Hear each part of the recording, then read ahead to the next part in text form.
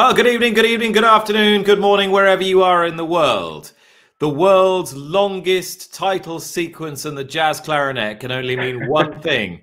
It's installment 14, yes, 1414 of Cocktails and Conversation, the weekly virtual speakeasy brought to you by our friends at Breeders' Cup. Nick Luck checking in from Teddington, Southwest London. Mark Tubridy in his beautiful apartment in Brooklyn. We've only seen about two square feet of it for the entire 14 weeks, but it still looks Just as good as ever, Mark.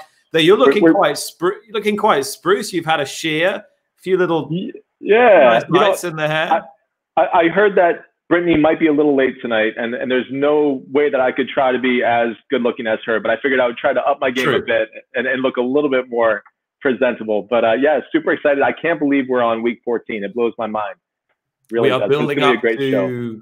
What are we building up to this week? We're building up to the Haskell at uh, at Monmouth Park, and we're continuing our run right through the Breeders' Cup Challenge Series, the Haskell Invitational at Monmouth, five o'clock till six Eastern this weekend on NBC. No danger of it this year, running at about 9 p.m., which was the case last year when it was 110 degrees. Quite honestly, Mark, the hottest I've ever been on a racetrack, and we didn't even get the race into our into our broadcast window. and I know you're always dressed to the nine, so that's always going to take the temperature up a little bit too. yeah, don't ask anyone who happened to be on the show. They forced me to wear this this polo shirt. I'll I'll never live it down. On which note, if I don't do it now, I will forget to wish one of our NBC producers, Billy Matthews, a very happy birthday indeed. Billy, many happy returns from all of us. I hope you're not having to work this uh, this weekend on your birthday weekend. It is, of course, or has been, of course, Saratoga opening day, but very different behind closed doors. At least, however, there was racing at Saratoga, racing this weekend at Del Mar has been cancelled owing to an outbreak of COVID 19 amongst the, the jockeys in, in Southern California, which is just a stark reminder of the difficult circumstances we've all been working and living in through the last 14 weeks, which is why we brought you this program in the first place to try and give you some respite, some succor, some cheer, whatever you require during these difficult times. And they have far from disappeared. And we've also, Mark, haven't we, tried to raise some significant money for, for charities, important charities during this time through breederscup.com forward slash donate. Yeah, absolutely. I mean, the bartender emergency assistance program is going strong. I think they've had upwards of $8 million that have been committed to that fund. And it's really going a long way to support, you know, hospitality professionals like myself that are just kind of waiting for the next news. Uh, here in New York City, outdoor dining has resumed, but there's been a pause on the indoor dining due to everything that's going on throughout the rest of the country. So, you know, many of us are still in limbo. Uh, I'm so thankful to have this to keep me sharp and keep me occupied. But a lot of bartenders don't have anything at the moment. So that fund has been absolutely incredible in supporting us. And thank you to our viewers for for supporting them so they can support us along with the other charities that we've been featuring. Are you edging your way back to the 21 Club? I, I, think it's looking closer to fall. I think after Labor Day would be a safer bet. You know, 21 Club is an interesting because it's such a classic spot and it's right there on 52nd Street between 5th and 6th. And anyone that's been to Midtown Manhattan knows that that's kind of a, a main sort of thoroughfare. You have to keep that street pretty pretty open. So we don't really envision doing the outdoor dining as much. So much of the history of the 21 Club is inside those hallowed walls, the beautiful toys hanging from the ceilings uh, you know, the jockeys out front. So I think we are going to wait for indoor dining to resume, and we're hoping that will happen after Labor Day. So fingers crossed. I gather one or two of you have been having a few problems seeing us this evening, and our, our feed has not been going out on on the Facebook stream. If you haven't seen anything so far, You've not missed much. just Mark and just Mark and I shooting the breeze because Britney, yeah. we are still waiting for. Britney was en route in a taxi to her to her hotel near Monmouth Park, where she's going to be broadcasting the Haskell for, for NBC this weekend. But she will be joining us very shortly, and we will have some very special guests along as well who are associated with one of the key contenders in in the Haskell. Just tell us what you're going to be making tonight, Mark. Tonight we're doing a few different things. This is going to be an action-packed night for cocktails. We're going to be starting with a lemon drop martini, uh, which, as we'll talk about, I think is one of those cocktails. Not not everybody is going to say that's my drink, but I'm going to try to convince you otherwise. Show you that with fresh ingredients, even a drink like the lemon drop martini can be your new go-to. Uh, then we're going to be doing a fantastic classic, the whiskey smash, which is sort of a loose relative to the julep. Uh, we'll talk about Dale DeGroff, one of the legends of the bartending community, his tie to horse racing. And we're going to be doing, in, in celebration of some of the birthdays that have happened this past week, we're going to be doing a chocolate cake shot. There's absolutely nothing chocolate about it, but it tastes like chocolate cake. And uh, I'm, I'm excited to show you that. Plus, maybe a science experiment or two, Nick.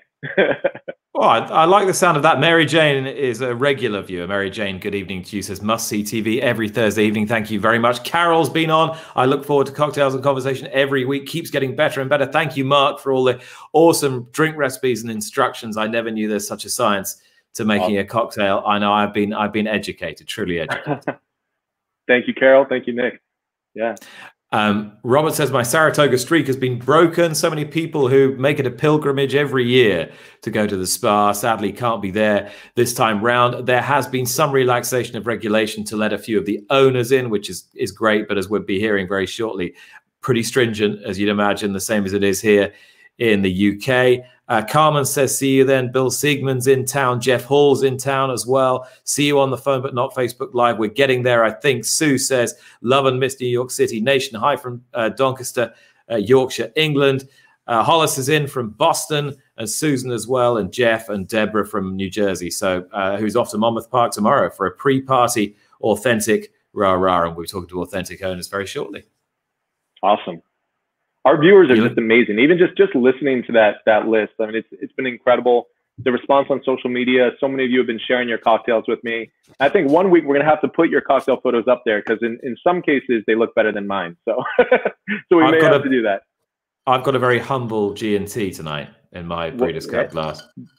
You know, a G and T or a vodka and tonic has been my go-to tonight. It's, a, it's still a little warm in New York City, so I'm rocking a beer. But we've got plenty of cocktails to come, so no worries for that. Uh, the Daily Doubles W is in Michigan. Dorian, wear a mask so we can all attend Breeders' Cup in person. Wear a Breeders' Cup mask, ideally. And so say all of us. There she is, Britney Eurton. hey, Britney. Uh, Made Brit- it. And you look great as well. You don't look in it. You in no way do you look like a clown. So so thank you for for joining That's us. That's good. Uh, just to you know let everybody know, I just flew in from California to New Jersey, so I definitely look like I've been on a five and a half hour flight. Uh, background looks a little bit different, but hey, I managed to find myself some Chardonnay, so life is good. Where where are my you? Next question. I'm in the hotel room.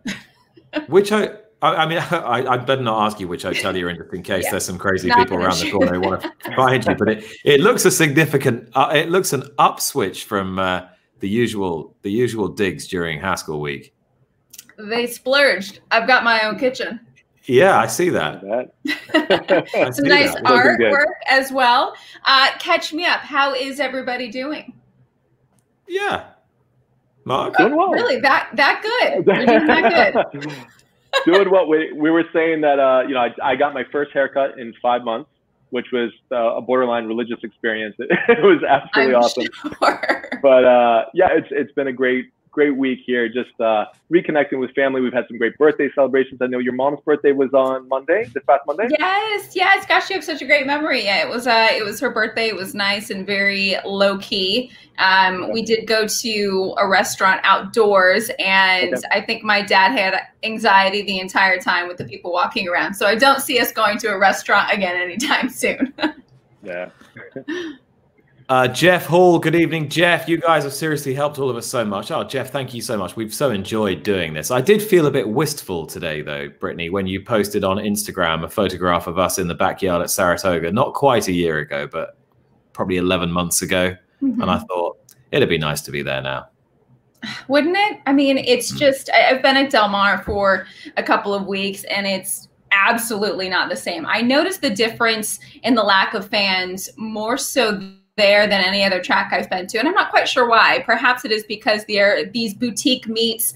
Um, the fans really make it what it is, uh, both at Del Mar and Saratoga. But I, mean, I know we all miss it. You know, at least we get to enjoy some great racing still, but it's not quite the same. Not picnicking back there, and I said to you, singing along with the piano at Siro's. Just some uh, some good memories, but I can't last there longer than about a week Mark, I don't know if you've been to Saratoga, but it um, it's draining to say the least. It takes takes it out of you a bit. Yes. okay. I saw your post on Instagram. I saw Nick Luck there looking dapper as, as always as well. But uh, hopefully in the future we can do it all three together. So mm-hmm. we'll get there.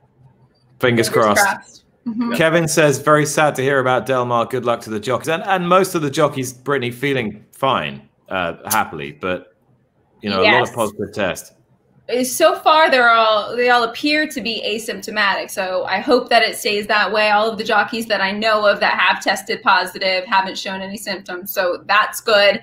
Um, and it, it, was the right move to cancel racing this weekend um, and to get everybody feeling healthy and well again. And what it could make for is just perhaps additional days of racing bigger stronger cards. So i think everybody's having to adjust um, to make sure that we are, you know, putting forth a product in the safest environment that we can. And so we all have to be a little bit more understanding to all the changes this year. I think. Now, before we introduce the first of our very special guests, mm-hmm. and he is a, a man that you all know very well, I must just tell you about a special Maker's Mark bottle that has been released today for Breeders' Cup by these lovely people at Maker's Mark. I'm lucky enough to have one of these special edition uh, bottles, but there is an even more special edition coming out today, and that's in honor of James E. Ted Bassett III, who's long been regarded as the thoroughbred racing's gentleman ambassador, a decorated Marine. He was awarded the Purple Heart for his service during World War II. Wow. And he took the helm of Keeneland. We just had a new president of Keeneland announced, of course, but uh, Ted was the president of Keeneland from 69, and he oversaw the growth and expansion of the year end championship event to new sites, including uh, Woodbine in Toronto.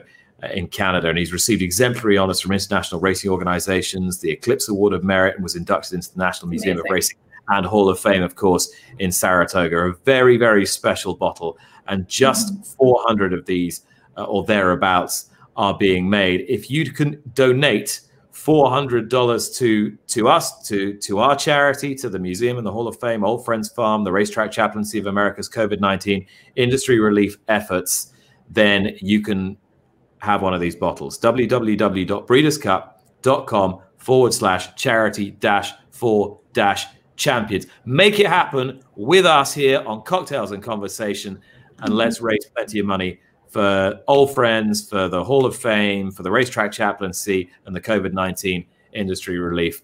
And we can all show our support together uh, in honor of a remarkable man, Britney truly remarkable, man. And these items, these bottles, they are stunning. They are collector's items. So it's going towards a good cause, and you're getting something really beautiful and memorable in return. So I, I just saw that today. I just saw their post. I think it was just announced today. Um, so get involved with a very limited amount of bottles 400, as you said. Oh, and I'm hearing it's tax deductible. It's always nice to hear. Even better. Um, I gather we're still having a, a, few issues with the Facebook feed. Apologies if you're getting a, uh, a ropey feed tonight. You can head over to YouTube if you are and find us there as well. So I'm, I'm hoping that a lot of you can can stay with us somehow. Shall we introduce our first guest? I think we shall because he'll have plenty of Saratoga stories as well. And it's been far too long since we've seen him. Here he is then. He only needs look. He doesn't even he, he, doesn't even need a last name. Look at that. Sol Kumin, how are you, sir? I'm good. How you guys doing? Doing well. Where awesome. so first question, where are you? Second question, what's the drink of choice? All right. Well, let's start with the drink of choice. That's the easy one. We got a little Tito's and soda. We didn't have any fruit in the house, so I had to go no fruit. But it is uh it's going down okay. Now, I'm in charge of an 11 year old tonight. I've got Corey, our good friend, mm-hmm. my daughter, here with me we uh, we had a couple of cross games today. We jumped in the car and drove to Saratoga. So we are wow. here, overlooking Oklahoma, um, and it is very strange being here. Uh, first time we've been here since last oh gosh, it's probably been Labor Day of last year. Um, so we wanted to come check out the house, make sure it was still here, and uh, we came down for uh, for about you know 24 hours. We're gonna head back to Boston tomorrow. So I can see Oklahoma. I haven't seen a horse up close yet because we got in at about one today. But the hope is uh, tomorrow morning to, to, poke out the uh, the back door here and see uh, see some horses up up close. I, I was going to ask you, what's the deal with going and seeing the horses in the barns? Obviously, you're not allowed to, to the track unless you've gone through all the protocols and taken the COVID test and whatnot. What about? Because I know one thing you absolutely love to do is to go around all the barns and see all the horses you've got bits and pieces of. Yeah, so I, I there's still I'm still working my way through the rules. Um, I think unfortunately, if you have a spouse or children with you, you have no shot. So uh, I will not be leaving my 11 year old, so I will be uh, I will be nowhere near the golf cart or the backside tomorrow, unfortunately. Um, but uh, I'm hoping that these rules will loosen up a little bit. That's what mm-hmm. uh, you know. I think that's what NYRA's hoping. Um, as of now, I think if you have a rate a horse in that day. Um, a valid license, uh, owner's license, a recent negative COVID test, whatever it might be, you know, you're able to go to the backside in the morning. So I'll probably try to sneak back up here at some time uh, later on in the summer. But it definitely it doesn't feel like Saratoga. It's good to be here. Um, you know, I'm watching the races that are, you know, a few football fields away, and, and it feels like I could be sitting in my uh, apartment in Boston. But it's uh, I, I was dying to get up here and just uh, just go to town and, and kind of be around. It's just a magical place up there. I spent most of my summers at Del Mar, but was introduced to Saratoga just I don't know in the past couple of years. Can you describe what normal Saratoga is like and why it's so special to people? Absolutely. I mean, it's really the mornings are just they're incredible. I mean, you know, it's nice and cool. You, you kind of head out to the track in the morning. Uh, the jockeys are there. Um, they're easily accessible. All the trainers are there. Um, everyone's friendly. You know, you get to watch your horses uh, train in the morning. Um, have a cup of coffee. You know, people are riding around in golf carts. It's just a, there's just something about that morning. That's what got me hooked on the sport. So um, you know, we're, we're, we're missing it a little bit. Um, you know, the mm-hmm. races are obviously, you know, tremendous in the afternoon here. The town's great. The people are welcoming.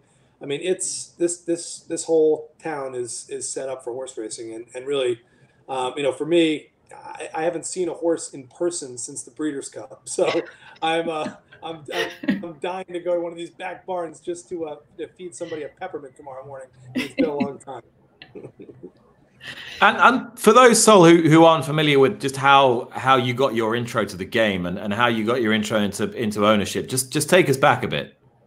Sure. Yeah. So I, I you know about probably five or six years ago now. I think it's probably almost six years. Um, I, I, really didn't know anything about horse racing. I had a, a, a still have a good friend of mine, um, Jay Hanley, who uh, grew up close to Saratoga and approached me one day and said, "Look, I think you'll like the sport. There's a family element. There's a hang out and have a cocktail with your friends element. There's a deal element. The, the animals are amazing. Um, I just I think you'd love it. So we bought a couple of horses uh, with Chad Brown. We ended up in the first batch uh, to have a horse called Lady Eli, who was just a you know once in a lifetime type filly, and and uh, you know named her after my wife, and took us on a journey. You know, won the grade one at two, three, four, and five. Uh, won the Breeders' Cup as a two-year-old, and and just that was it. I mean, that was my. we got super lucky at the beginning um, and uh, and it just kind of got hooked from there. I like how he just throws it in there. Oh, a horse named Lady Eli. Sol, everybody knows her. She was a legend. Uh, Lady Eli, just like that, takes the lead on the inside of Sunset Glow. Sivoliere is up to third on the inside, but it's Lady Eli into Rad Ortiz with a green run and a Breeders' Cup victory. Sunset Glow is second. Osaila was oh. third. Prize what do you remember about that? That was day? a happy day. I, I, I just remember jumping up and down, hugging all my friends, and we had about you know I think sixty people deep, and uh, it was a it was a special day. I mean, she she's a special horse. We've had some been super lucky to have some great horses, but that will always be my number one. You know, there'll be no uh, no beating her for me. She had some trials and tribulations there. I mean, the the bout with laminitis that was very scary. I mean, what was that like for you and your family? It was hard. I mean, I think you know that was that was really what got you you know got me kind of hooked. Is you know you, you, you feel the, the sport has highs and lows. The highs are mm-hmm. about as high as they can get, and the lows are you know nights you can't sleep because you're so upset about a, a race. Or obviously, in this case, much more much more important than a race or health. And um, you know you you you know really just got to understand, you know, her as a as a almost a person. I mean, you know, what she was going through, how tough she was. Um, you know, you went from wondering if you know she was going to live to wondering if she was going to come back. Then once it seemed like she was coming back, wondering if she was going to be able to race at a high level. Um, you know, making sure she wanted to do it because she'd already given you so much, and uh, you know, just going through the, the ups and downs of that was was uh, you know it was pretty intense, and um, and you know I think that it's a it was a kind of an education of what the sport can do to you, um, all in uh, all in one horse, the highs and the lows, and uh, and that was that was really it for me. I mean, I you know I I realized at that point that I wanted the sport to always be part of my life, and um, you know we, we've made it obviously a you know a bigger part of our life, and it's been uh, you know it's been great for my family, my partners, my friends we've had a, a lot of fun and some uh, you know some some some good luck along the way. What what do you as a family get out of the sport? What as a, I mean, for you, it's you know I've seen how passionate you are, and you're sharing it with friends, and you're so into the animals and so into the competition. What do you get out of it as a as a as a family? Well, my, my family loves it. I mean, my three kids um, are borderline obsessed. I mean, you know, everything from you know, what's running today, Dad? Why is it? Why is it with that trainer? Why are they running it on the turf? Why is this jockey on the horse? I mean, we you know we spend a lot of time at home over dinner, um, you know, talking about this stuff. And you know, we have we're going to talk about the Haskell horse here in a second, but mm-hmm. um, you know, Saturday is my youngest son Sam's ninth birthday, and you know, I, I wasn't I've been to a horse race obviously in a, you know since the Breeders' Cup, um, mm-hmm. and so the whole the whole time he's been saying, "Look, my birthday's in July. I just want to go to a horse race." So we're gonna fly to the Haskell for the day, and it is you know for his birthday, just the two of us, and he is so excited.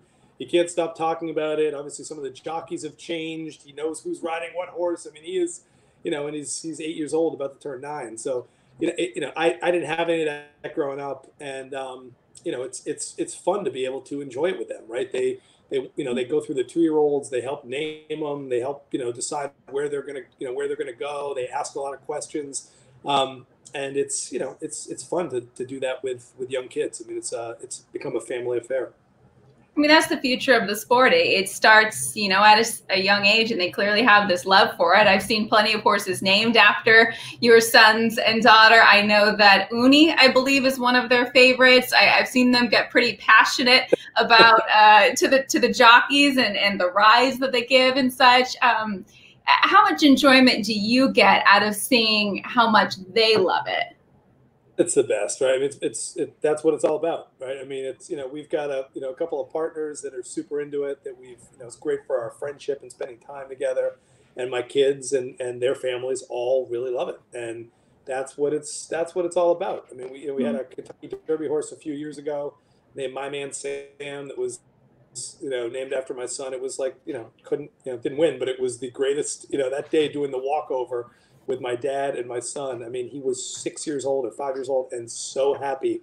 Um, you know, it's, it's got the stuff all over its wall. I mean, that's they'll never forget that. We've got uh, a horse in an Indiana Tuesday named Corey uh, mm-hmm. with Brad Cox. We think is going to be pretty tough.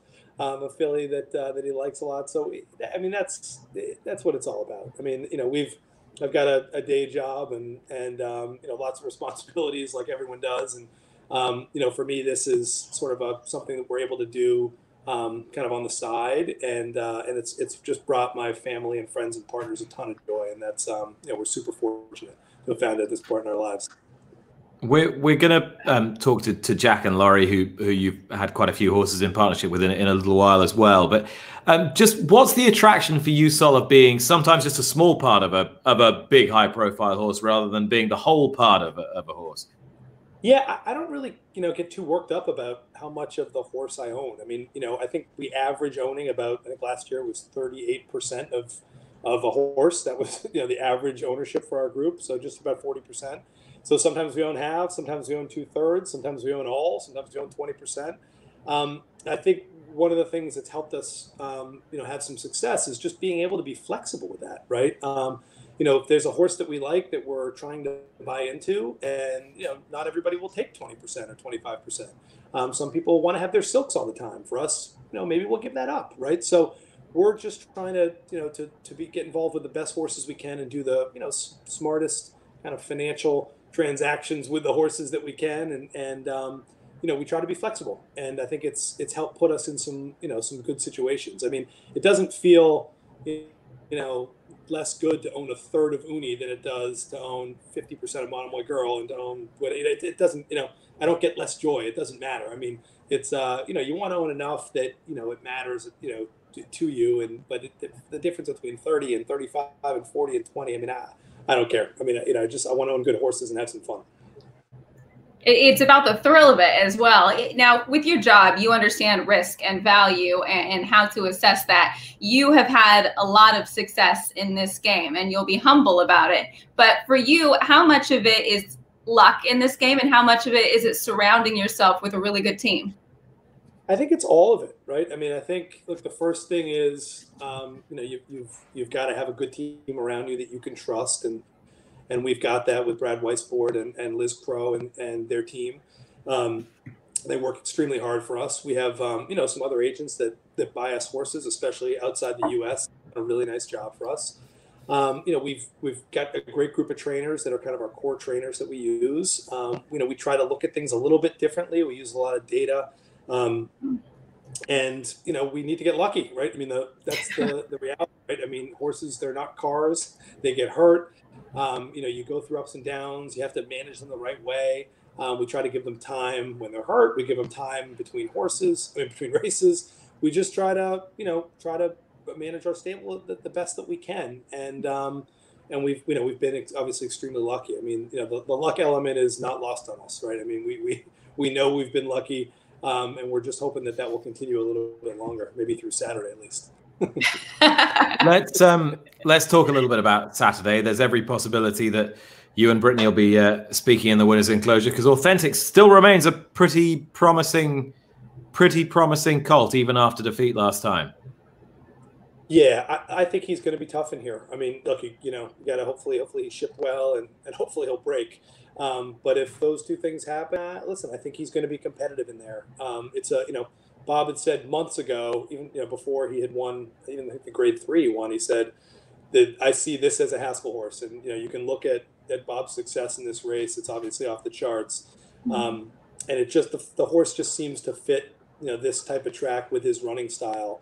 Um, so you know we'll see. I mean you know we got to get lucky from here, um, but I think it's a good spot where you know we should be the favorite. I think at race time. Um, you know we won this race once before with Exaggerator. Um, it is ironically my favorite trophy that I have in my trophy case. So, um, do you have it with you in Saratoga? Can we see it? It's in my Boston house. Uh, I'd bring it out, but it's a very cool trophy. It's got these flags coming out. It's it happens to be my favorite one. So, uh, you know, we'll see. I mean, we, we hope at this point we just got to get lucky. You seem so calm. Do you ever get nervous before a race?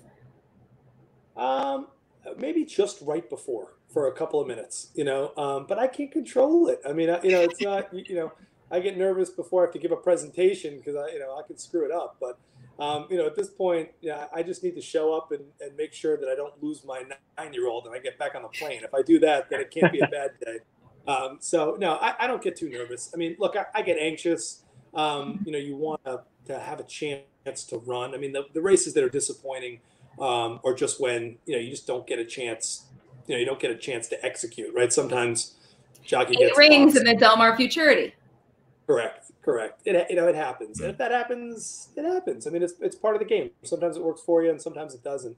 Mm-hmm. Um, but as long as you get a chance, you know, you, we get beat, uh, whatever it is, seventy five percent of the time, right? So you know, if we're winning at twenty five percent, we're having a good year. So you get used to losing. We lose all the time, um, and uh, and you, you got to become a good loser, or uh, or or you're not going to be able to last very long in this game. Uh, but but look, it, it's, it's exciting, right? This are it's about the big races and the, the big horses, and um, you know, just to have one that's going to be going to be live on a big stage like this is exciting. Ain't that the truth? Oh, amazing! Yeah, I mean, you got to get used to losing, that's for sure. I, I, I wanted to talk a little bit about last weekend and Monomoy Girl because yep. we missed her. We missed her last year, and, and Midnight Bisou kind of took over the baton, if you like, and then she suddenly became the most popular filly in the US. Now you're back in the game. Are the two of them going to meet? And when are they going to meet? Oh yeah, I mean, I missed her too. I probably missed her more than you, Nick. I mean, I really missed her. Um, she, uh, you know, it's good to have her back. I mean, I, you know, I, we'll see. You know, Midnight Bisou's gotten better, and uh, and I think Monomoy Girl has gotten better also. Um, I, I we're gonna have to we're gonna have to see. They, they will run against each other. I mean, they're both headed to the same Breeders' Cup race as of now. Um, you know, I, I'm not sure they'll race each other in the next race. I mean, Bisou's going to go to the Phipps, uh, or sorry, the uh, the personal ensign here in Saratoga. Um, you know, I think Monomoy Girl at this point will probably go to the race on Derby Day. Um, you know, the grade one. I can't think of what it's called. Um, and then you know they could they could meet each other in the prep after that before the Breeders' Cup, or you know go to separate preps and and uh, and run in the Breeders' Cup. So, you know, we'll see. I'm always you know, a little bit conflicted. Um, you know, being involved with both.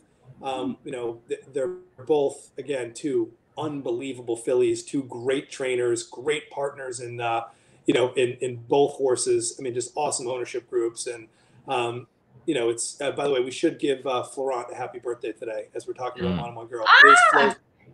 So happy birthday, Flo! I know you're home with uh, with Corona and you're feeling good. Like Britney said, I, I I know you're feeling pretty good. So we miss you and uh, and thank you for last weekend.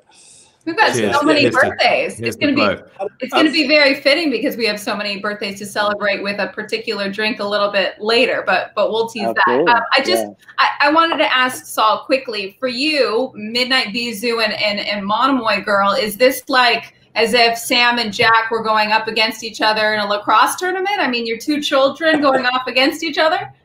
Yeah, it, it feels a little bit like that, right? I mean, the only time it was really awkward for me, honestly, was at the was at the Cotillion a couple years ago when, um, you know, they you had the, the so yeah, I was there with, with one of my kids, and you know, I had two different groups of partners, and I didn't know where to stand, and um, you know, my son sort of looked at me and said, "Dad, what's happening?" And I kind of looked at him and said, "Just just be quiet and stand here. We're going to take a picture in a minute. Either way, I don't know which way it's going to work."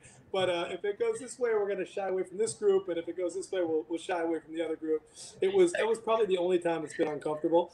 Um, but uh, you know, the every, both groups get it. Um, both trainers get it. I mean, you know, they're they're two spectacular horses, and uh, I just hope honestly they both uh, they both stay sound. They both keep getting better, and uh, you know, and everybody gets to see them run against each other, including me. I mean, there's no, no, no, we're not. No one's. I don't think either one of them is trying to duck the other one. They've just been on a little bit different schedules. I think you know there was a shot Monomoy Girl was going to go into the um, to the uh, well, I guess it was the August Florida against her.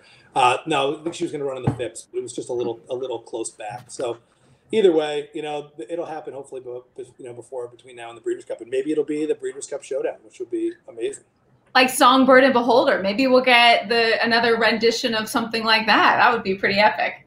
That would be awesome. That would be awesome. But there's some other good horses in that division. I mean, Dunbar Road is is a really good horse, and Kawana. I'm not sure. I mean, there's some there's some really really nice horses. You know, she's a Julie, so so it'll be you know it's going to be really interesting.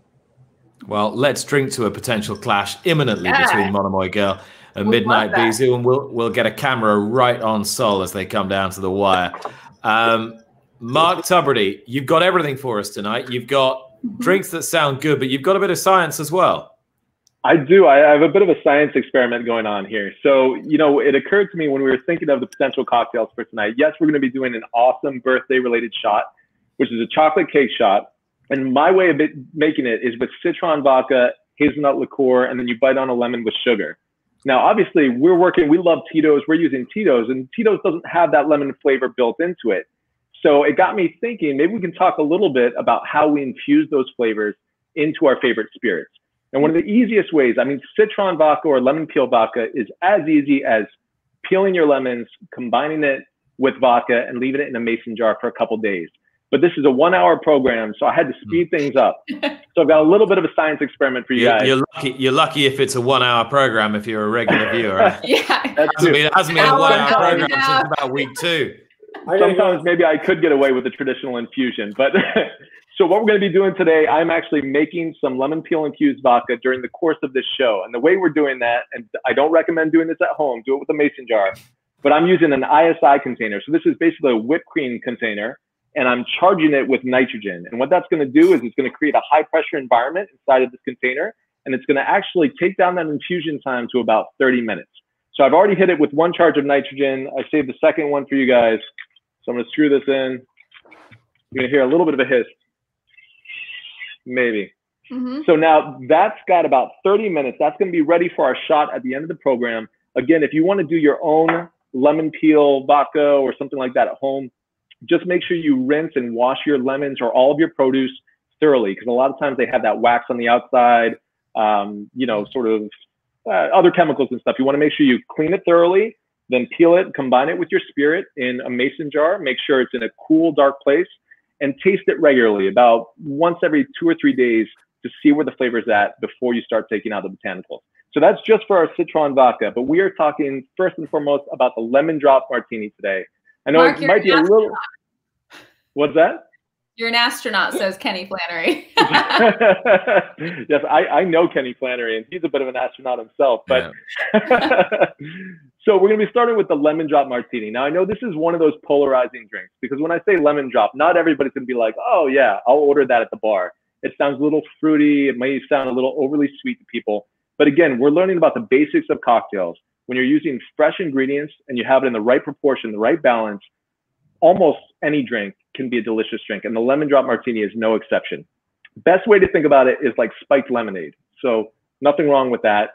Mm-hmm. But you can also think about it, dare I say, as a vodka cousin to the sidecar.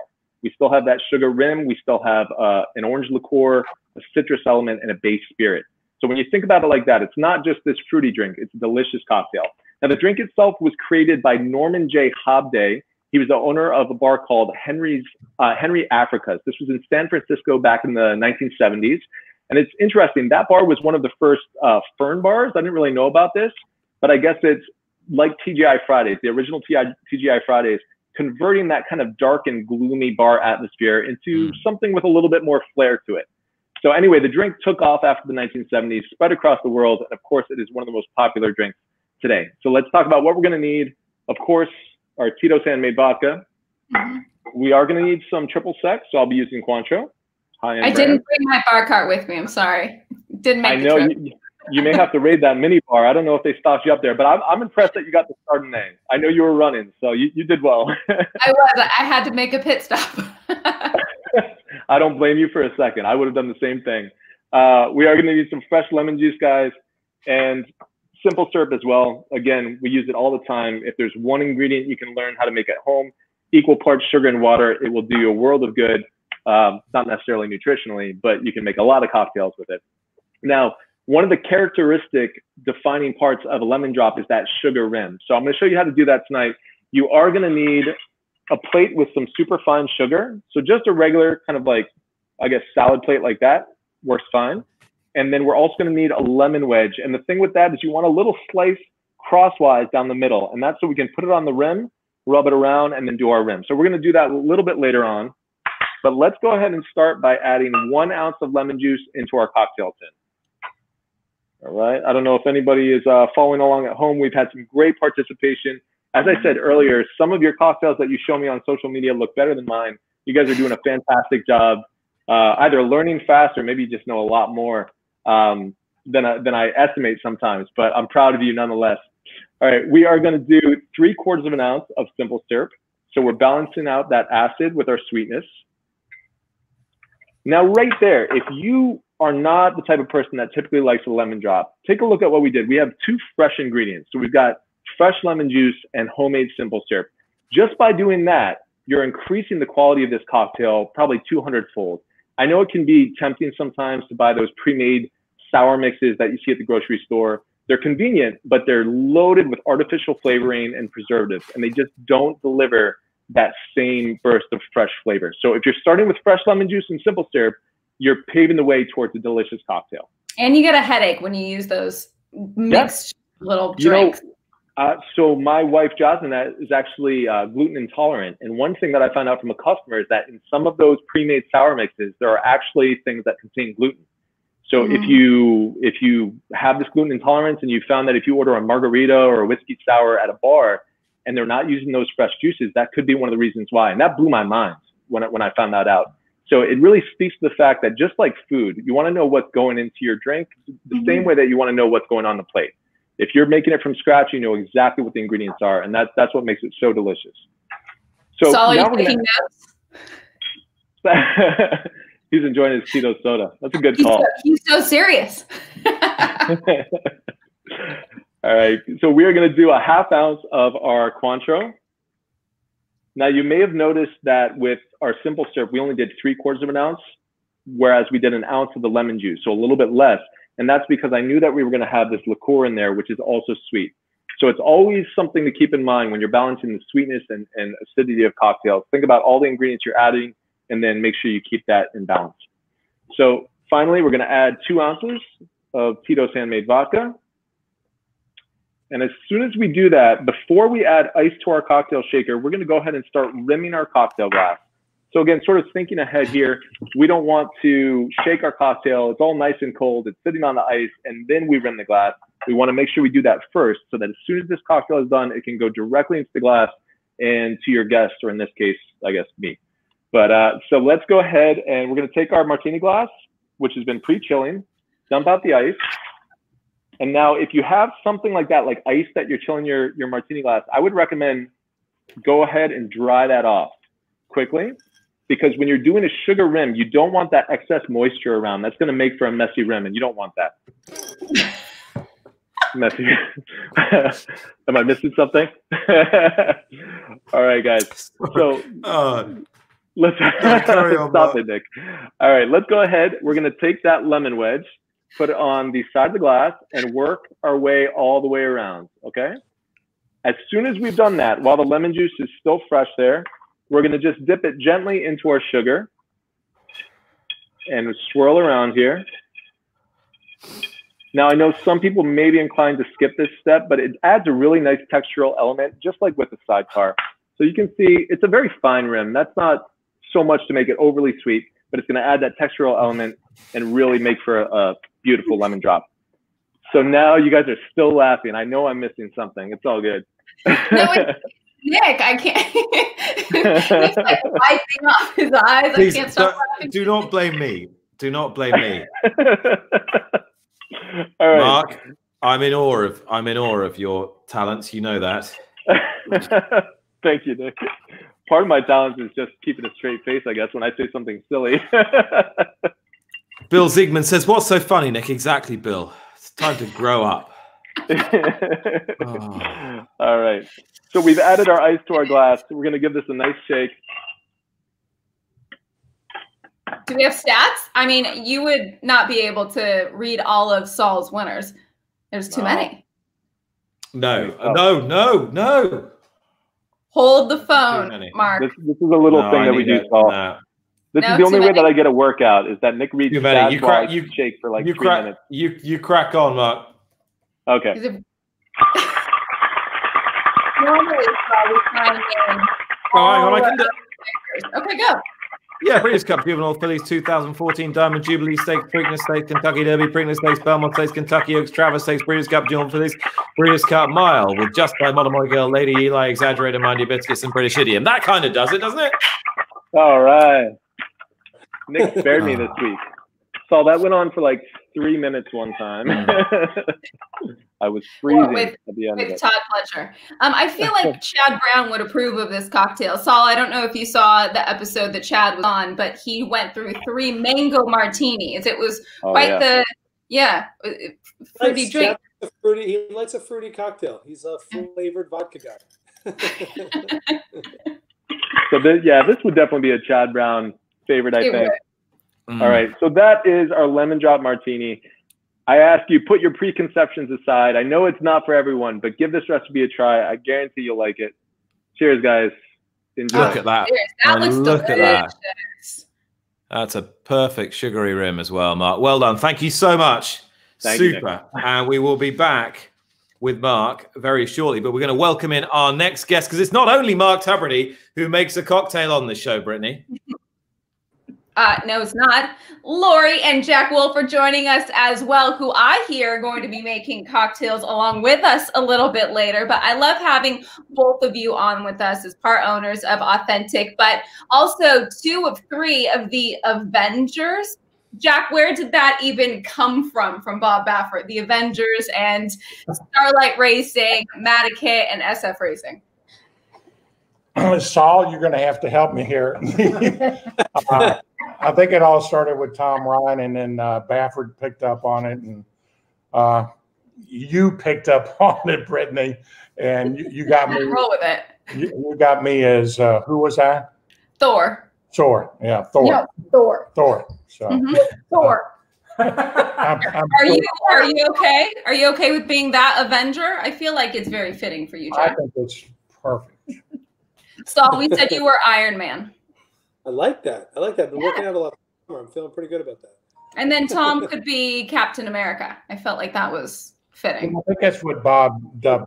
Uh, I think we were going to try and make Bob take that title, but uh, I think it's I think it's in the right position. But but jokes aside, how how did this partnership come to be? Um, you know, from my standpoint, and and Sol may have had a different experience, but uh, um, you know, Tom reached out to to me, and he came up with the idea of of trying to, you know, raise some capital to get the super bloodstock agents together and and, and give the horses to to Bob and. Um, so you know I said, I'm all in. And, you know, we had Frankie Brothers as our bloodstock agent. And course, Donato was there. And, and then Henry Field was there. And, um, and then I'm sure he reached out to Sol and, you know, Bradley Weisbord had some, some people involved. And, uh, so we just, I mean, just sort of threw it together and, uh, went out there and searched for some good yearlings and, um, I mean, his first crop has been unbelievable, as we all see, you know. But uh, it just came about. When you say so, I mean that's pretty much how it happened. I think that's exactly right. I mean, we, you know, w- once we heard, you know, who that who the team was and who the partners were, it was a pretty easy decision. Um, you know, from from our end, we, we don't have to do much. Um, so they they take care of everything. Um, you know, Tom Ryan's done an unbelievable job managing the horses uh, managing the the buying team, the budgets, the you know the whole thing, the getting the stallion deals done. Um, you know, so we're I, I just look at, at, at us as being really lucky to uh, to be along for the ride, and it's been you know it's been a lot of fun. I feel like we've seen this evolution of ownership from sole owners to now really plenty of partnerships. How much more fun is it to enjoy these big victories with, with other people? Laurie, Yeah, yeah Laurie, you I did. love, I love it. I do. The more people we have that it's, uh, we can share these big moments with, it's outstanding. I mean, you have people that have a shared passion, and you you are lucky enough, as we all know, to win these big races. How hard it is, and then you're around a group of people like this. It's amazing. It's an it's a no brainer. and you know, you look at the bills every month. It's Yeah, I agree. It's awesome. I mean, it really, it's it's just not that much fun. I mean, you look at the bills every month, and you're paying 25 percent of the bills instead of Or- 100 percent. You know, thirty percent or 30 percent or whatever. whatever And it is. um, from an economic standpoint, this is a business with that, uh, as we all know, ha- have a you know has a high risk of a degree of risk, and to to share that risk, uh, I think it's pretty cool economically. I'm still on the other side. I'm like, yes, let's bring like minds together and celebrate. I know. I, COVID has, has put quite the damper on everybody celebrating together, has it not, Nick? Well, I, I, I mean, it, it has, but at least at least the sport's still still just about going, and and I think um, Laurie, Jack, you, you'll agree that it's it's hard times for us all, but it, for, for us in horse racing, we've we've held together better than than a lot of people have been able to in a lot of sports and a lot of walks of life. Yeah, Nick, I think the um, the greatest thing about when all this started, you know, we have to race these horses. They can't be in their stalls, you know, and regardless of the inconvenience to the owners of not being able to be there and all that is really insignificant. It's great that that our industry has gone ahead and, and the racetracks have allowed it to race, obviously restrictions. So from that standpoint, and we're better off than you know the NBA and the NFL and actually hmm. NCAA, you know, sports too. So I think that's Definitely. the important thing. I like I, this. I wanted, yeah, I, I yeah, it's good. Perfect point. Life's highs and lows are always better with friends and family, and that can't be more true. Sol, we have kept you for long enough. We will now bug Laurie and Jack with all the questions, but I will see you at Monmouth Yep. Park on Saturday. I'll see you, Mom. Ice cream by the next time, Sol. See you, Sol. I will. Good to see you. Ah, oh, Sol Sol Kumin, and and good luck, good luck to him, and good luck to you guys Saturday. I wanted to ask you, um, Jack and Laurie, a little bit about the TAA, the Thoroughbred Aftercare Alliance, because it's a, a, a, project I know that you helped to, to establish and is, is very dear to your to your hearts. And and just wanted to know from your standpoint how how it's progressing now and how it's how it's been getting on during during the last few months. Well, I think you know, like all of uh, all of these aftercare things, the um, you know donations and you know the contributions and and whatever is slowed down. But uh, I think one of the good things we did when we started this Thoroughbred Aftercare Alliance was we had some really good people that had very good business minds, me not included, but that, that would, uh, we decided to put a, a, good amount of the, the funds raised in reserve just for, uh, you know, situations like this. So um, I think from that standpoint, um, we're doing, you know, doing okay. And they probably wouldn't like me to say we're doing okay because we, we want to raise more funds. But uh, it was a, um, boy, it was a crazy thing to put together. And uh, I'm glad we spent the time and did it. And so here we are because they have accredited so many wonderful organizations. I know you both are longtime supporters of New Vocations, which is a wonderful um, facility. They have multiple facilities, um, but the one that I, I've been to in Kentucky is just remarkable, headed by Anna Ford. And she told me not too long ago that they actually had empty stalls for the first time. So it was really wonderful to see these horses being adopted as they rehab, retrain, and rehome these horses do you two feel that it's the responsibility of an owner to give back to these horses once they're retired? I think, in my opinion, I think it's the responsibility of the entire industry. So it's not just the owners. I mean, we keep track of all of ours once they leave. And, but I mean, if you've bred one, if you have consigned one, I, I, think it's your responsibility. I mean, it's um, it's a family out there, and these are our babies that we're sending out, and we want to make sure they're taken care of. Mm-hmm. Oh, I love that. I, I, couldn't agree with you more. Um, Nick, I know this is a horse racing show, and we got to talk about authentic, but I kind of want to know how Laurie and Jack even met. We haven't had a couple on the show, have we? Have we not? We, uh, do you know what? We haven't. We've had we've had so many parents and children, well, fathers you, and daughters. You know, Britney, thank, Thanks for asking that because I, I think this might be an X-rated show because I heard something about a messy rim and wash your lemons from Mark. So um, maybe we can. Maybe Honestly, we how old are we? Nick and I could not stop laughing. oh. Mark teased out. I mean, seriously, he was just like, He's the straight man. he kept a straight face. He's a great straight man.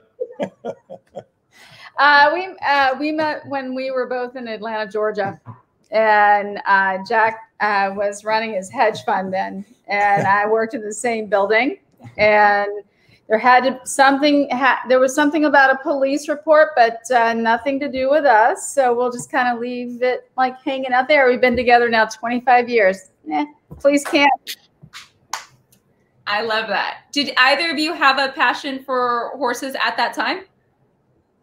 Yeah, Jack. Well, can I speak for you? Yeah. So Jack's grandfather brought him out to Miles Park. I mean, he's been going since he was a baby in Kentucky, and I'm from Louisiana, and so um, I didn't discover the horses. We had quarter horse tracks, were the, the closest ones to where I lived.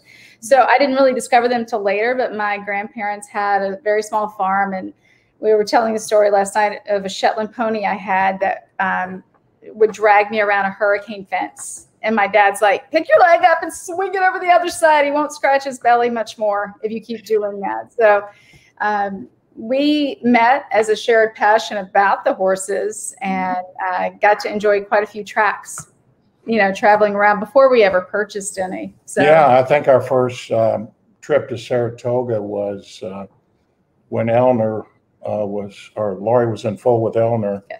who's now 22. So uh, Um, Oh, that was a great story. So uh, Jack's like, you know, it's Travers weekend. Let's go up to Saratoga. And I'm like, yeah, that sounds awesome. And I'm like, as we're flying up, we land. I'm like, where are we staying? He goes, oh, we'll get a hotel. Okay. Mhm. We literally have a fucking closet. Oh. I'm so. I, I think you can cuss on the show, right? Uh, it's amazing. We've it's amazing. It's taken us 14 weeks to get an F in. this is true. So we have a closet with a twin bed, and I am pregnant with Eleanor. And literally, you can't open the door to the bathroom unless somebody moves out of the way. And I'm like, oh, this is nice. but we got is- in and um, They felt bad for me. We got upgraded the next day. Gideon Putnam, they were solid.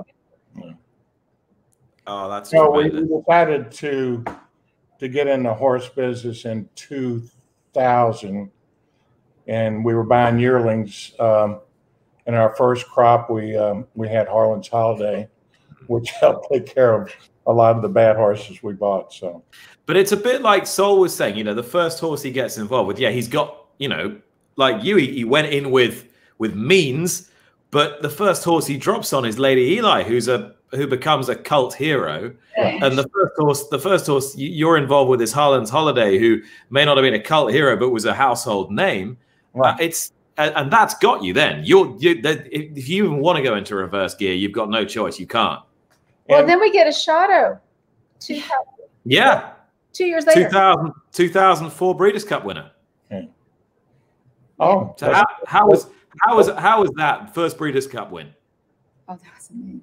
That was amazing. Well, my you know my reaction. Um, our first Breeders' Cup horse was Harlan's Holiday, and he sort of ran up, not sort of, he ran up the track in Chicago, and um, and I I just got to you know have horses with uh, Todd. what do we have here? A shot. Ashado. All right, let's talk about Ashado. I mean, unbelievable, unbelievable move that Johnny put and to, to squeeze those horses out. You know, Craig uh, Craig Bernick's a friend of mine, and we just mauled his horse at the head of the stretch. You know, and and Johnny just gave him a great ride and Her. her a great ride, and Todd's first Breeders' Cup, and then he won with Speightstown a few races later. So, and and you know, the year before it was pretty cool out in Santa Anita uh, as a, as a two year old, and Julie Krone had the, the, the best bridle, ride, half half, bridle. bridle. That she rode that horse unbelievably from the 14 0. And, um, and then, you know, the third time she ran, I think she ran third, something like that. But what a great race mare, obviously. Yeah. Really special. Really Do you special. And I remember who your your other um, uh, Breeders' Cup winner, um, which was just recently, 2012, wasn't it? Um, Shanghai Shanghai Bobby. Yeah. Yeah, Talk we were, about that stretch run, though. I mean, all hard. you know, we go ahead. We were talking, you know, we were just sharing Peter the story, it, you know. and then we're looking for the actual photographs because we were sent. Breeders' Cup put out three Yeah, photos. you can see it right here. Yeah. and it's of our group where we were and everybody's like this and then it, it immediately goes like and then the announcer goes and shanghai bobby is finished and then we're like "Ah," and then so we come back pa- to yeah, win we're past here, you know. but I, I will say this. Rosie gave him he, she knew that horse like nobody's business. And she was just like he gets out on the lead so easy and he's like wait a minute. I want people to play with. I want to run with somebody. And so she's like no no no no no. And then he finally re-engages. I mean to listen to rosie after that race talking about riding that horse she's like she's like i had the best horse. I had so much horse. But he in his mind's like i don't want to by myself i don't want to hang out So back Nick, there." Nick, how was the interview in the winner's circle? oh yeah Uh, one of one of my favorites. Ah, I don't. Wait, is there a story that I don't know about this? I don't know. Every everyone loves those in, winner circle interviews, don't they, Britney? Oh, yeah. Everybody fights for them. Everybody in the Everyone loves them. trailers are like, oh, I want to do those. And lately, it's been Nick and I that have had to do the winner's circle interviews. I always feel like I never know what to ask because everybody's already been interviewed at that point in time. Well, Nick asked me a couple of questions, and uh, NBC cut away from him real quick to get me out of the picture. Jack was cuddling But- a Grey Goose. Oh no, winner's- we can't say great Okay, okay, news, sorry. right? Uh, the other vodka, Yeah. the other vodka cradling, and he was just like, Don't don't take it personally. Honestly, the, the less time they can spend on those things, the better. And everyone gets kind of everyone gets screamed at, marshaled into thing. The owners don't know what they're doing. The, the lights suddenly come on. They go to you. There's noise everywhere, and then they kind of. Uh, it all looks quite serene on TV, but you, having experience, know that it's anything but when you're actually in the middle of it. No, I think it, I think it was a great move for everybody concerned. But it's got to be. I, I love hearing from owners talking about their horses coming down the stretch and the roller coaster of emotions that you go through. Is there one race in particular that just really stands out that either got your heart racing or you didn't think he was going to get there or she was going to get there? Is there anything that stands out to you guys? I would say for me, the latest one, I mean, after we just talked about Bobby, um, the latest one was um, Justify and the Preakness. Yeah, you go in and you, the fog descends right before the race. And Larry's back there calling, going, I'm guessing everybody's kind of in the same position, basically. And when he breaks through the fog, and you just seem, I mean, it was amazing. That was one that's just always like here. And I have to say that um, the picture the next morning, I was flying down to meet my sister. And when I have both of our kids on the back, I'm a New York Post kind of gal. And when I've got both of the kids on the back of the New York Post with Justify, and I'm like, so that was pretty good. I, w- I would say Absolutely. for me, it, it would it would be Shanghai Bobby. I mean, he was undefeated two year old going into that thing. You might want to let him. and that was um, when the you know the New Jersey monsoon and all that stuff came up, and he shipped out late, and and actually there was some talk about changing riders, and I stood behind Rosie, and uh, yeah, it was pretty cool. Hmm. Very special. I, I just wanted to go back to Justify uh, briefly because I don't suppose any owner, when they get into the game, really believes that they're going to own part of a, of a triple crown winner, even if it's what you uh, aspire to. Do you think? Do you think people would would have taken him more to their hearts had it not been for Pharoah three years earlier? And and that we if we'd had to ha- if we'd had to wait for from um, 78 to, to 2018, for example, for the for the Triple Crown winner. Do you think people would think about him differently now? Absolutely. Yeah. I Yeah, mean, he's, he stands on his own, and I, and it's and so does Pharoah. I mean, listen, they're both fantastic horses, and but I think just coming so quickly after Pharoah, I mean, Justify just seems mm, okay. We just did that a little bit, but listen, five races. I mean, it's amazing. I mean, we did not purchase into him until after he broke his maiden. Mm. So, as we all know, you can break your maiden, you may not ever have another win. And then he goes on that roll, and it, it's, um, I mean, he he's just a superstar, a Yeah, superstar. Nick, I'm, I'm, I get where you're coming from there, and and maybe the you know, and everybody was wanting to change the rules before American Pharoah came in, this and that, and maybe it cheapens uh, the second Triple Crown so closely, but you know, I don't, I don't I don't really, I don't really buy Yeah. it. I- And and here's here's the deal, Jack. You know, uh, it, it could be another 30 years before we have another one.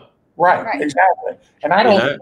In the 70s, there were three. Uh, Affirmed Triple Crown shouldn't be cheapened because he was the third of three. You know, I, I think maybe because it's been, it's so recent, it was only two years ago, two years ago, um, that he won the Triple Crown. I bet you in another 10 years, we're going to say it's too tough again. The industry likes to do that, do we not?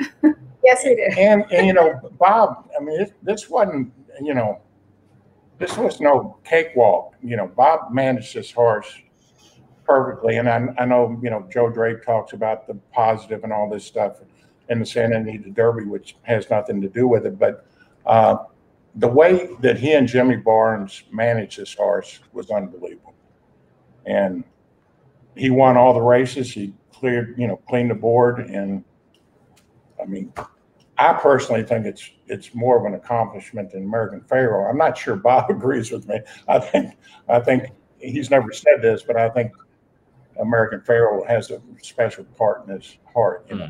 Yeah.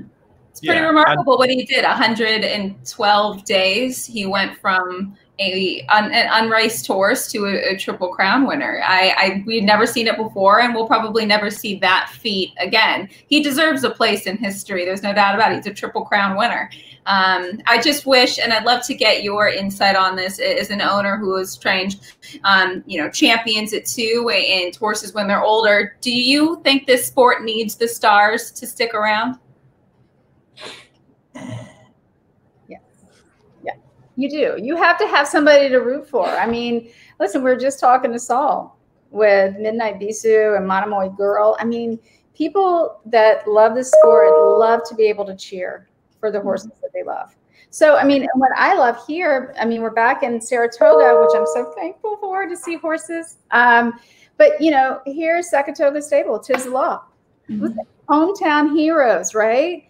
Love that. Love it. And people want to cheer and love horses. They do. And you know, we do know, need to have superstars on occasion. You know, I get that. But uh, uh, also economically, we, from a business standpoint, um, maybe I'm more business than you are, but uh, there are, you know, situations where you have to, it's so hard. And Sol brought up, you know, if you win 25% of the time, there's superheroes. And if, if you get an opportunity to, you know, monetize the value of the horse so that we can continue on. I'm, I'm so I'm maybe I'm being the bad guy, but um, I think you know I, I, think well you know like Samba, we have a, a horse that's um, turf and dirt grade three winner that we just put in the uh, uh, Fasig sale. We didn't sell him, but you know he's four years old. We're going to keep him, and we'll run him back and all that. But that's that's pretty unusual for us to have a a four year old and eventually a five year old. But uh, I guess I'm sort of rambling, but I don't know if I'm answering your question. No, I think it's an interesting. It's an interesting. It, it is part of it to hear, and I think that people do need to to realize that for as much money as you put into the game to be able to keep going, you have to at some point in time sell some of these horses, and that's tough for fans to understand as well. It's it's um, a, a, challenging line that you have to walk. I think as an owner when you have a, a champion, Nick. I well, I just think it's that balance, isn't it? Between on one level, you're trying to create the elite thoroughbred, and that elite thoroughbred's championship races are when they're a three-year-old, still a relatively immature horse. I like the Triple Crown. I love the romance of it. I don't want to change that and make it for four-year-olds or five-year-olds, even though I understand the argument for horses hanging around in training. So it's that balance between trying to get the elite racehorse that you're trying to breed and produce and be a part of and really captivate the nation and that renewal and the excitement of having fresh you know talking to chad brown the other day um, and he was saying he was so excited about a new group of two-year-olds that he was going to unleash at Saratoga. It's that renewal, that freshness.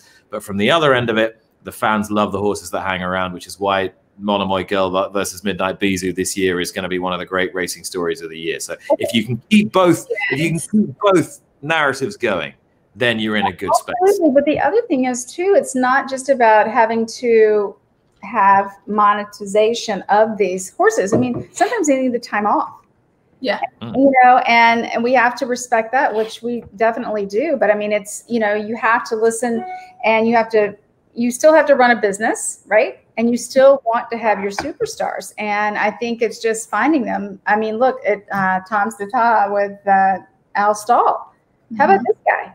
I mean, it's amazing. I, I wish we had a few more of those but sometimes you just it, you just don't. And i mean you get them you get them as two year olds you get to have them and they're precocious and they're superstars.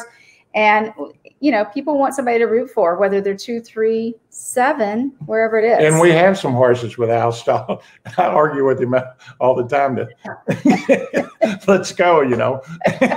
So uh, he was right on uh, tom for sure Oh, yeah, he was a Breeders' Cup winning Urane Classic winner for the Stephen Foster not too long ago. So it, it, cheers to find that balance because let's just say it is not an easy thing to do. But um, I also think we should cheers to all the success of Starlight Racing and continued success with a drink. What do you guys Definitely. think? What are we having? Okay. So, so, we need to bring him in. Let's bring him in. Okay. Can I get a refill while we're setting up? Of my okay, so I've washed our lemons and um, my rim is clean. Uh, Laurie and Jack have washed the lemons. Brittany's gone for the white burgundy out of the fridge. And uh, so our very, our very dear friend, uh, the Taylor family in Louisville, um, shared with us um, a bottle of their small batch Peerless. And we do love Maker's Market. We're here right here. So, by the way, they made the sidecar for us recipe. So I should there we go. And what's in? Awesome. Look at that. We have some Cointreau. Do not ask me amounts. Uh, very poor. So we that, have. There you go. Fresh lemon juice, washed lemons, a clean. Oh, that looks beautiful. Some peerless bourbon. Beautiful. There we go. Now, Nick, Nick, compose yourself, okay? Try to try oh, to just keep it together, all right? Cheers, guys. That looks fantastic. I, How about that? I want you to I want you to watch this show back. I will. I will. Listen, I was off. I was off camera cracking up when you guys went back into it. hey, Mark, are, are, you are you familiar with Peerless? Peerless? No. So his his his great grandfather founded the thing. He was like yeah. fifth number back in the 1900s. Okay. And then Corky just rejuvenated this thing like yeah, five years ago. And okay it's a beautiful story. And it, it's a it's a very premium, you know. Fantastic. Yeah, whiskey. I, I got to look into it. You know, sometimes as great as New York is, we get kind of like those kind of go-to sort of brands. We right. don't always get those really like fantastic stories like you're talking about. Yeah. Uh, the first time that I went to Churchill Downs for the Breeders' Cup was a great experience. Being able to go around Kentucky and try some fantastic bourbons that I hadn't been able to before. So yeah, absolutely. So next time I have to extend my trip, maybe for Keeneland, I got to book a good two weeks so I can really soak it all in. well, all, all, you guys are invited to our Derby party. Hopefully, we'll we'll have authentic in the Derby and uh, fantastic and uh, go from there. And the Breeders' Cup. Awesome. That's so wonderful we, of you guys. We, I think we would love to be there. Show, uh, maybe in Keeneland, at some place and make some cocktails all together while socially distanced. Oh yeah. Yeah. Yeah.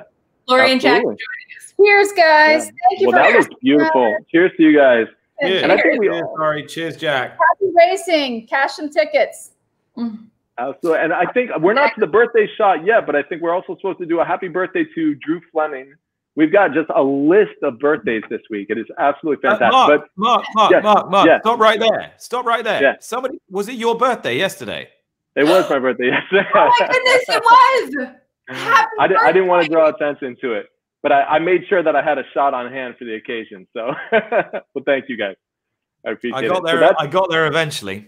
You did. You did. That's why we have three drinks tonight. But no, I mean we have so much to to celebrate in the midst of these troubling times. Still, you know, uh, during this this time during quarantine, my younger son turned 16. My older son turned 18 and graduated from high school. Like you can't stop celebrating milestones and appreciating one another and celebrating one another just because we're inside or somewhat limited. You have to find ways to to keep marking those milestones. So, you know, I, am privileged to to be able to do that with you guys via this show. So, and and thanks to all of our fans that join us for all every of that. Time, yeah. Every time you mention the ages of your children, I just feel kind of sick that you look so young. well, I appreciate that. Thank you. Like I said, I got the you know little makeover, but, but so we got some. I think it was so beautifully stated, Mark. We have to find the good amongst all of the bad because it is there. You can find it if you look for it. So yeah, uh, thank yeah. you for that and happy birthday. Now kick us off with our next one. Yes, let's do it. So the wiki, wiki, the whiskey smash is a very old school cocktail dating back to the 19th century. And as you'll see, it's sort of inspired or somewhat related to the julep. And some people even say it's a style of julep itself. Now, Dale DeGroff, DeGroff who actually uh, designed the recipe that we're going to be making today, he's a famous, famous bartender in this whole industry. And he says this is the perfect drink to convert non-whiskey drinkers to whiskey drinkers. I'm talking to you, Brittany. You're, yes, I know you you're still on the fence. but uh, that gold no. rush may have just pushed me straight over to the bourbon side. Yeah, was the gold rush was was an amazing cocktail as well. You're gonna see the whiskey smash is a great whiskey cocktail, even for you know the summertime. It has some great fresh elements to it. But a quick note on Dale DeGroff because he's such an important figure in our industry. Of course, throughout the show we've highlighted so many legends in horse racing, and it's been my privilege to to be able to learn from these people, talk to them, and and hear all the knowledge they have to share. In the bartending world, we have the same thing. We've got these people that really just caused the change from the moment they came on the scene. And one of those people was Dale DeGroff. Now, Dale was basically behind the bar at the Rainbow Room in Rockefeller Center from about 1987 to 1999. And what Dale did was he basically brought back fresh ingredients to cocktails. So before then, I mean, in the 1980s, things like fresh juices and fresh fruit had been replaced almost entirely by these artificial mixers. Mm-hmm. So Dale was the one that changed that. He brought back the fresh ingredients. In many ways, he basically paved the way for this cocktail renaissance that really we're, we're still all appreciating and enjoying today. And it's probably the reason why I'm doing what I'm doing. So we all owe some thanks to Dale. Um, but fun fact, Dale was actually the creator of the Belmont Breeze, which was the official cocktail of the Belmont Stakes from, I believe, 1997 to 2011. So he has his own side of horse racing. Really course, full circle we. Full circle, absolutely. I try to put it all together. I try to sneak in some jokes for Nick to laugh at too. Let's say it was intentional. I don't know.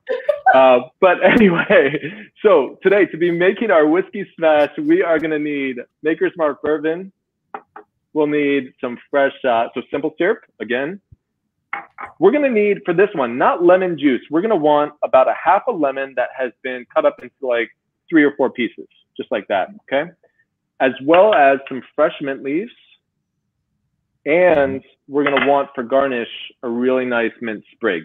So a, a, good rule of thumb when you're dealing with herbs like mint especially, if you've got a beautiful sprig of mint, pick the leaves from the bottom and leave the beautiful flourish on top. That way you can kind of muddle the, the other ingredients, but you still have your really nice garnish. So that's a great way of kind of treating that herb so that you get both, both aspects. Okay, we are going to need our cocktail shaker. We're going to need a fine strainer. And with a name like Whiskey Smash, you already know we're going to need our muddler. Mm. All right. Is it so, the gentle muddle? Uh, it's going to be a combo muddle today. Whoa. it's going to be a hybrid that's, muddle. That's new. So we are going to start off with our lemon pieces directly into our mixing tin. And of course, when we're doing fruits, so when we're muddling fruit, we want to extract the juices. That requires that forceful motion we're not worried about bruising the fruit here or, you know, in the case of herbs, if you over muddle, you do get that bitterness. So we're not worried about that. Right now, we just want to extract the juices. So I've seen some recipes that actually just call for lemon juice, but I actually like the fact that Dale does it like this because it's kind of a good sort of uh, technique to know, I guess. If you don't have a juicer on hand, there's no harm in putting those pieces of fruit in the cocktail tin, giving it a good muddle. And as you've seen, we oftentimes just strain everything towards the end of the cocktail making process anyway, so it really doesn't hurt. So now we are going to add our mints. I would say about five to six leaves is fine, directly in our tin, as well as one ounce. Where have you put that? Is is the mint in the where in the tin where you were bruising the lemons? It is. Yeah, yep. It is, right. Yeah. Yep. Absolutely. Yeah. You know what I was thinking is I should have like an elevated platform that shows yeah. a little bit more, but we'll work on it. It's a growth. You know, we're work in progress. We're getting there. That, that, we're working on that for next season. when we have another right. 10 episodes. Yeah. Yep. All right. So one ounce of simple syrup is joining the mint and the lemon. At this point, we're going to give it a very gentle muddle, and that is just to release some of those oils on the mint. Now, some people say that you can even just shake mint with ice and it releases enough of those oils. I like to give it a little bit of that muddle beforehand just to start the process. So we were slapping the mint, now we're shaking the mint. Slap the mint we, we try not to abuse the mint, but yeah, the poor mint, it, it kind of take, takes a beating sometimes, but uh, adds a lot to the flavor. So we are going to add our two ounces, uh, sorry, uh, an ounce and a half of Maker's Mark bourbon now. So that's going to go directly into our tin. Hey Mark, I was um yeah. I was thinking because my parents continually ask how much to put, yeah. right? I, it was Laurie was saying she was like, "Oh, just a bit. Sure. We'll throw it in here." And some chefs can do that. I am so much like a baker. I yeah. need the exact amounts. Um, do you think maybe we could get the amounts prior uh, before making all of these drinks? You know, once we like send them out, add that to it. Absolutely. I think that's a great idea. Yeah, from now on, we'll make sure that we have the uh, the measurements for you guys. And yeah, you know the thing is that so yeah, so at bars you may see bartenders free pouring. So it's called that when you mm-hmm. kind of just pour into the thing. But the main difference there is that you'll notice that usually they've got some sort of speed pour that's on top of this. And mm-hmm. what that does is it regulates the flow to the point where you can learn a count system. So if you're just pouring it directly from the bottle without a speed pour on top, there's no way to regulate the count system, and then your measurements are all over the place. So I would definitely recommend that everyone invest in some sort of measuring tool. I mean, so technically it's called a jigger, and it typically, I mean, there are different measurements. So we've got two ounces on one side, one ounce here, and the mm-hmm. best are the ones that actually have internal markings that show the other measurements: three quarters of an ounce, half an ounce, quarter ounce, one and a half ounces. Uh, we have a new name for a horse, Jigger. It's Jigger. probably yeah, that's, that's, a great you know, name just, for a horse. Just as you know, chefs need to measure everything out. For us, this is a great way of keeping it consistent. For me, if someone comes to a bar and says that's exactly the way I like the drink, I want to know that I can replicate that exactly the same way for them. So that's the important measuring. But that's an excellent point, and I think from now on we should absolutely have those measurements ahead of time for all of our viewers that have been so awesome in making these cocktails with us. Thank so, you. Yeah. So at this point, we are going to add some ice and we're going to shake this up. All right, guys. And then don't forget, we do still have our shot coming up. I'm going to show you the sort of crazy process that I finished this extraction of the lemon peels. But in the meantime, let's give us a good shake. Maybe we can just internally think about all the achievements of Nick Luck. Uh, one Nick Luck. Uh, okay. He's got a all. Right, so, he's got a seven HBPA awards for best broadcaster. Yeah. How many do you have? Seven-time broadcaster of the year in England. He has a podcast. He has uh, Luck on Sunday. He is the nicest guy I know. Who loves Chardonnay, and I can't keep going. I can stop blushing in a minute. All right. Three beautiful daughters, a lovely Three wife. Three beautiful daughters. Yeah, yeah. That's that is my finest achievement by a long way. Well, you have so and this show, of course, in, in our in our hearts from cocktails and, and this show. Nick. Yep. All right. So we are going to strain over fresh ice here. Now, because we have muddled those lemon pieces directly in the tin, we've got things like mint that have been broken up. We absolutely want to fine strain this. I know you guys see me doing this a lot, but this is absolutely a time that we want to do it. This not this time we're not laughing at you. Um, someone would like to comment on Nick's pale forearms. This is Whoa. because it's the anniversary of the Haskell, where um, instead oh, of the usual right. suits, because of the 110 degree heat, I was made to wear one of those fetching, fetching NBC polo shirts which are you know they look great on kind of ex-Olympic athletes when they're in the heat, uh, the Olympics, trackside, you know, at a, a sort of track and field or something, as they're interviewing a, someone after the hundred meters. But yeah, on me, not so much. That's all good. I well, you know, I don't tan, Nick. I always get sort of this situation.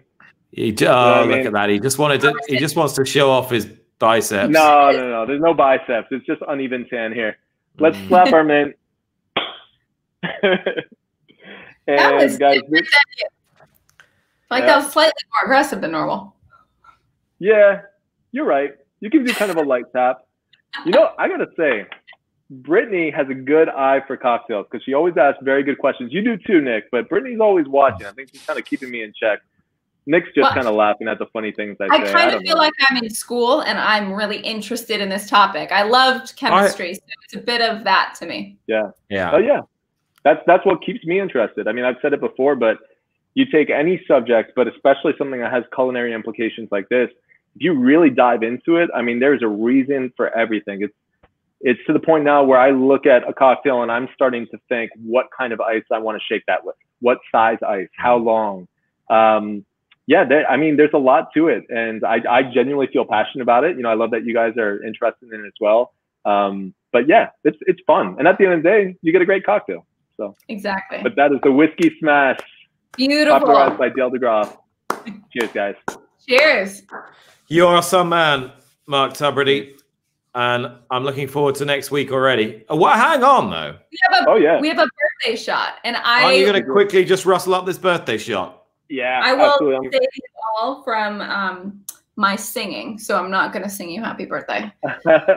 oh, good. You're going All right. to. Um, Yeah. Nick, you can sing. I know that you have some beautiful I'm the least. vocals. I'm the least able singer in this house. That's for All sure. right. But unfortunately, everybody else is in bed. So I'm gonna I'm gonna keep the sound on for this, even though it's pretty Mhm. notoriously loud for dramatic effect.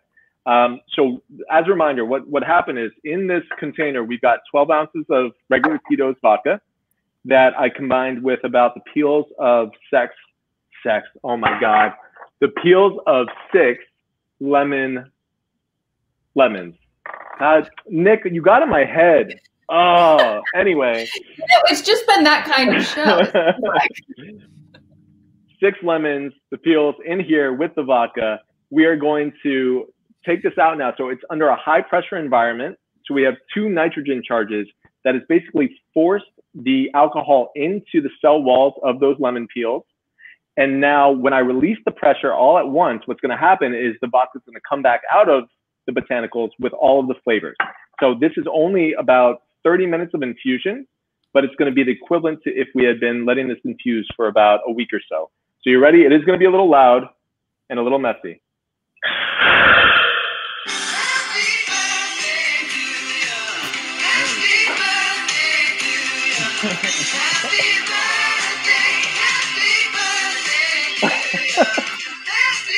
Well timed. Too much Tito's for the birthday boy. You're absolutely right, Dorian. Um, so Nick now missed we've that got. Nick missed that little slip. Did he? I Mhm. think he caught it. No, he's Right. just trying to be nice to me. All right, so we have our lemon peel infused vodka. I'm going to show you the color. So this is, It's great.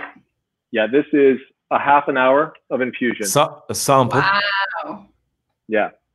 So now quickly to actually make this birthday shot, what we're going to do is pour, because I'm going to make this for my wife and I, I'm going to do three ounces of this into a mixing glass.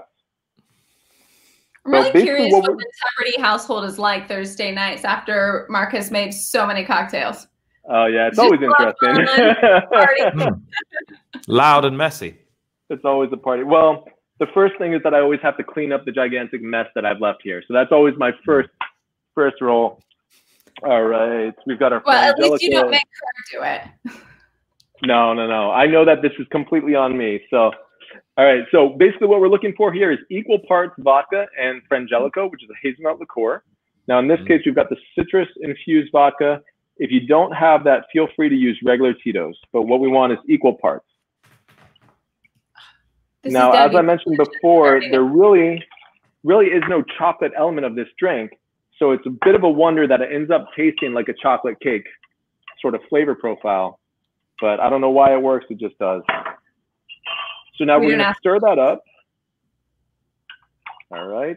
And the other element that you want here is you want a little wedge of lemon that's been dipped in sugar. All right, guys. So something along the lines of this. And you're just going to dip that in the same plate of sugar that you used for the rim on the, uh, the lemon drop martini. That's all I'm going to say. I've already gotten myself in trouble. Just going to play it safe, stir the cocktail. All right. So now we are going to pour this into our shot glass. Apparently, your wife is the best cook in Brooklyn. She is. Who said that? Kenny, I hope somebody Kenny again. you got you were right. worried that you were worried there for a minute, weren't you? But it's just Kenny. but she is a fantastic cook. So, guys, Yeah. this is a chocolate cake shot for all the many birthdays uh, that we celebrated this past week. To your mom, Brittany, uh, And to you. guys, thank you so much. Yep. So we're gonna take the shot and then bite the lemon. Go on, in you go, and then birthday. bite down hard. He's Yeah. encouraging it. It, it Yeah. Mark, it's all Nick. Yeah. Don't ask me any more questions. It's not gonna go well. Mark, I think this has been a tour de force. I think this has been your best performance so far. I don't know about that, but I appreciate that. Um, we'll see you next week with more fun frolics and a sugary rim. Mark Tubridy, thank you very much. Well, well, I, I I, should- I mean, it's, it's hot in here. I mean, it's a, a